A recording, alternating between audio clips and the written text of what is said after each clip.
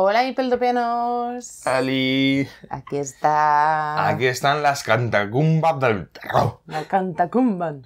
Del terror. Sí.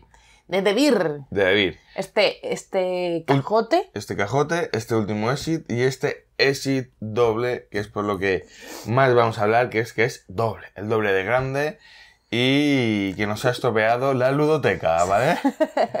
Efectivamente. Es, tiene un tamaño, por si no os hacéis a la idea. Mm, de, ¿Cojo una? mm, Dos veces. Sí, coge, coge. Venga, voy a, coge. sacar, voy a sacar el mejor de todos para compararlo. Venga, va. Es más grande que dos veces un exit, ¿vale? O sea, es un poquito más grande que, que los propios exit. ¿Qué pasa? Que nosotros tenemos así la biblioteca súper bonita, súper tal, con todos los exits que hemos hecho. Vale. y Yo ahora me, este pues no entra. claro, yo me imaginaba que lo que iba a ser era el, El doble. doble. de ancho. Así que estaban todos los exits puestos así bonitos y esto aquí.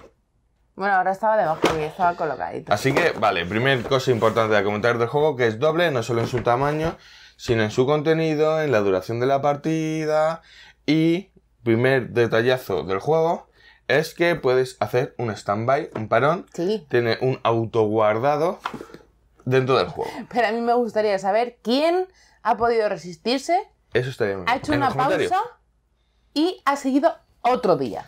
Eso en los comentarios, que nos pongan, si alguno lo habéis jugado en dos partes diferentes y no del tirón, ponlo aquí en comentarios. Porque realmente sí que lo pone. Un enigma en dos partes. dos o sea, partes. te hace un lo que sería la duración de un exit normal. Dice, en este momento puedes, te aconsejo que te levantes. Juego para más de 16 años, mm, con razón, ¿vale? Porque vamos a tocar temas un poco chungos. Chungos. Eh, de 1 a 4 jugadores y de 40 a 80 minutos cada partida. ¿vale? En nuestro caso, vamos a hablar ya un poquito de la puntuación. Eh, la primera la hicimos más o menos rápido, en una horita creo que Sí. fue. Pero la otra sí se alargó un poquito más. bueno, en total fueron tres horas Tres de partida. En, en el total de la primera y segunda Tres. parte. Y tuvimos, bueno, espérate. Cinco estrellas. ahí, ¿Sí? Cinco estrellas porque el final no acertamos guay. Por no utilizar bien la rueda, hay que decirlo. Porque realmente sí que. Sí que hicimos bien el hecho. final bien hecho. Pero bueno, Así que vamos a daros un poco de información, no es mucho spoiler. No. pero Es la típica hojita. La gente que lo haya jugado va a saber de lo que hablamos, la gente que no lo haya jugado no va a ser ningún spoiler y cuando lo jugáis pues sabréis el por qué estamos diciendo esto. Exacto. Así que. A ver, eh, el acertijo más emocionante fue eh, tensión y brujo, ¿vale? Tensión que son eh, los puntitos y el triangulito. Luego el acertijo más difícil fue la antorcha, que es la, luna, telita con ese. y lo tuvimos que resolver con ayuda de una pista. Con ayuda de pista. No fue resuelto con la solución de pista, pero sí es cierto que tuvimos que utilizar las cartas de pista porque... Y encima eso es del primero. O sea, yo me acuerdo que esa Sí. parte es del primero. Entonces, ¿qué pasa con este juego? Realmente es buenísimo. Sigo pensando, y lo dejo claro, que para mí los mejores exit, los mejores escapa, los mejores escape room son los exit. Mi experiencia con ellos es la más plena y completa.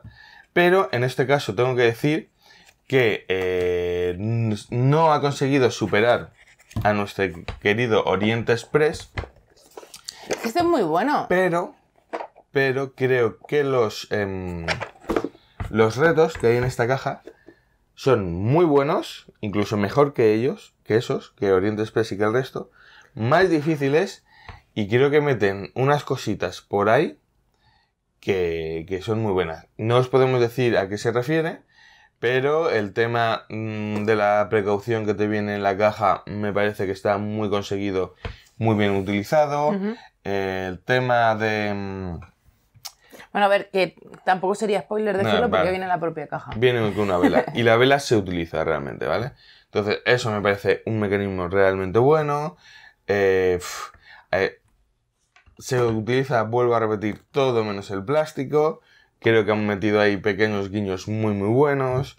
Eh, es eso, creo que, que han ido un paso más allá. Realmente lo ponen como avanzado y yo lo catalogaría como experto. Y también tenemos que decir, al menos yo por mi parte, aunque creo que vas a estar de acuerdo, que quizá este sí que es un, uno de los exit que No. recomendamos no jugar a dos. Y entiendo que mucho menos a uno. Porque hay partes o hay momentos o hay enigmas que te dejan un poco con el culo torcido. Eh, la mayoría te dejan con el culo torcido. Eh, entre cuatro personas, dos haciendo una cosa y dos otra, por ejemplo, pues sería un poco más fluido.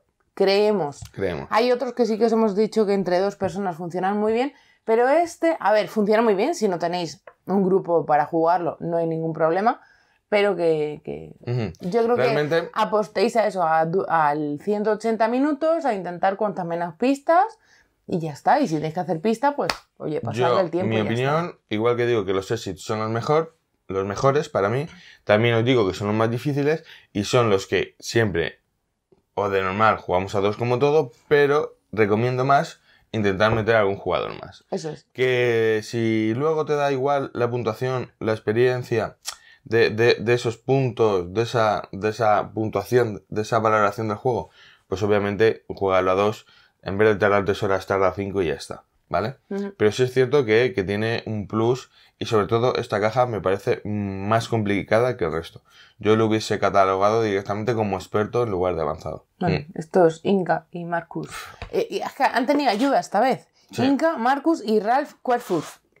Muy bueno, o sea, realmente os lo aconsejamos, es muy bueno.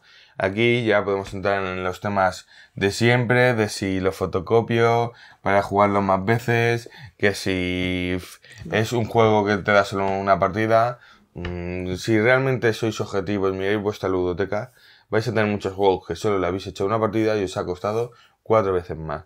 Esto sabéis que es una compra de 10, 15, 20 euros 22 euros y que va a ser una experiencia de una a tres horas y que va a ser una experiencia completa y muy muy guapa. Sí. Así que yo soy mm, defensor aférrimo de estos juegos, me encanta, los tengo todos en todos los formatos, pero en el caso este especial de Exit, vuelvo a repetir que para mí es el mejor, este es el más complicado, con la ida de olla más grande que hay respecto a los demás Exit, me sigo quedando No en estoy de acuerdo.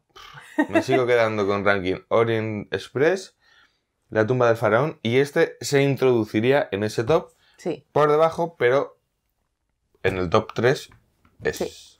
Que por cierto, si queréis ver más opiniones de otros Exit que ya hemos jugado, que los hemos jugado todos, recordamos, pues os dejamos por aquí arriba una tarjetita con otros vídeos de opinión que tenemos de Exit. Así que lo único que nos queda por decir es decir y, y obligaros, iba a decir recomendaros, obligaros que en comentarios nos pongáis cómo os ¿Cómo ha a vosotros. Por favor, sin spoiler. y spoiler, si os apetece, como siempre decimos, comentar algo con spoiler, pues ponéis arriba spoiler, hacéis unos cuantos enter y después escribir. Así la gente que quiera verlo entra y la gente que no, pues no lo ve.